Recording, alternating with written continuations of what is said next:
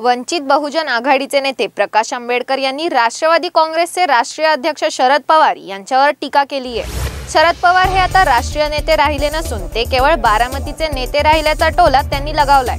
प्रकाश आंबेडकर गुरुवारी सोलापूर दौऱ्यावर होते. शासकीय विश्रामधाम येथे झालेल्या पत्रकार परिषदेत ते बोलत होते. यावेळी प्रकाश आंबेडकर बोलताना म्हणाले की लोकसभा निवडणुकीत वंचित आघाडीला काँग्रेसची मते मिळाली नाहीत. काँग्रेस राष्ट्रवादी काँग्रेसचा शेवट जवळ आला असल्याचे ते म्हणाले. दरम्यान पत्रकार परिषदेत प्रकाश आंबेडकर यांनी शरद पवारांवर टीका केली आहे. पाण्यावरून पळवापळवीचे राजकारण सुरू आहे. शरद पवारांनी पाण्यावरून केलेल्या राजकारणावरून असे दिसत आहे की ते राष्ट्रीय नेते नसून बारामतीचे नेते असल्याची टीका त्यांनी केली आहे. शरद पवारांनी नॅशनल नेत्याच्या ऐवजी आता बारामतीचे नेते झाले हेच त्या ठिकाणी दिसते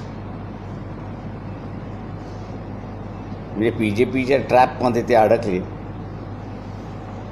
आणि नॅशनल नेत्याच्या ऐवजी बारामतीचे नेते आहोत हेच त्यांनी सिद्ध केलं. बेल ऐकन दाबा आणि यासारख्या इतर बातम्या बघण्यासाठी आमच्या चॅनलला सबस्क्राईब करायला विसरू नका.